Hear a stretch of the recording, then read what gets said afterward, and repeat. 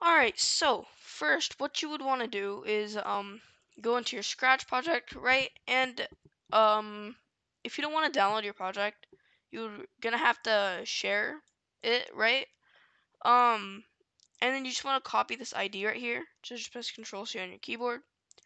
Now in the H and then uh go to the link down below and go to this HTMLifier, whatever, right?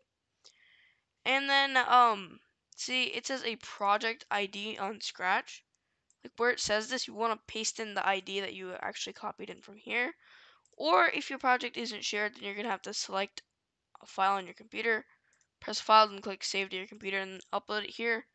Uh, but my project is shared, so I don't have to do that. And um, now look, so there's a lot of options that you can do with this. So you can do text to show in the browser tab, right? And I'll just do tag, right? Oh no, we don't want that. Cancel. Um, and then like you can enable turbo mode, frames per second, value of the username block, right? So if you're using like, um, in Scratch, if you're using this username thing, then this is what um would go here, right? Uh, tab icon, so like Scratch's thing is the S. Uh, I don't want one. Background image, it's just default back. Uh, default is a back a black background, which I'm fine with. Um, oh yeah, you can also show the green flag and like the stop sign, and I don't really need to show that. Um, also like if you're gonna upload it to like the App Store or something, you're probably gonna want to hide that option, right? And then what image should show while the project loads? You would like, you would choose a file, but like, um, it's I'm pretty sure default is like a black screen. What should be stretched? Uh, don't stretch anything. Maintain the project as aspect ratio, which is what we want. And then the cursor style, which is like hide the cursor, use a custom cursor, lock the pointer, uh, stuff like that.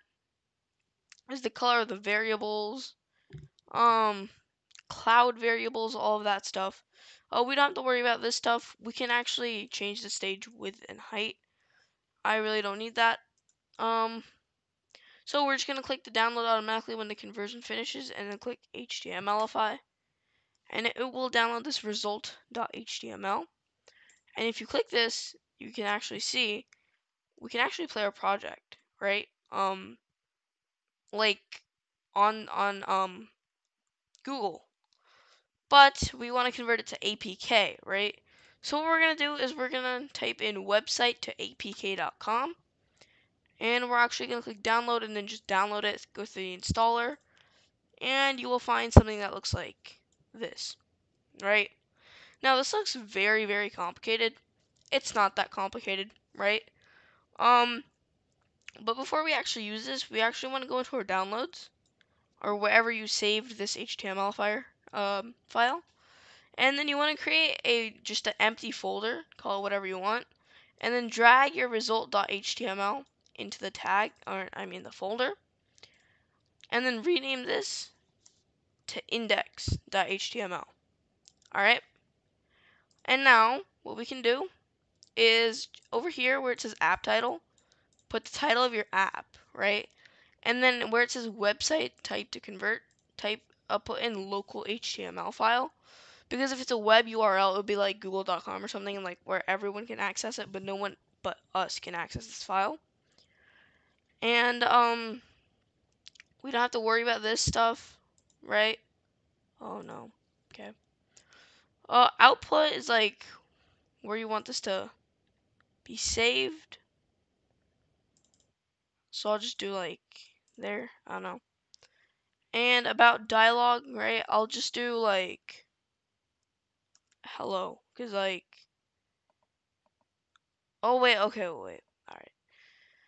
You actually have to pay for that. I did not know that, but um yeah. And then where it says directory of local website, you're gonna click choose folder, and then you're going to find your downloads and click that.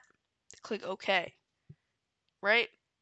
Over here is like a bunch of stuff like zooming, um, zoom buttons, HTTPS content, like all this stuff, but I don't actually need any of this, right? And then I'll just click build Android APK. And it says be patient to, you just have to be patient, right? For it to download. And then when it gets things ready, uh, see, it's going to process our app. It may take some longer time. All right, yeah. And then it'll say APK created successfully. Just click finish. And now, let's see. Inside of our tag folder, we should have a tag underscore one dot one dot o dot apk. Now this thing is what you're gonna actually publish to like the app store or whatever. Um, and you could actually just upload this. Like, I don't think I can run this. Can I? Oh, you're right. I can run it with BlueStacks. Um, but I'm not gonna do that right now. But um, you can also actually create a website out of this, which is pretty cool.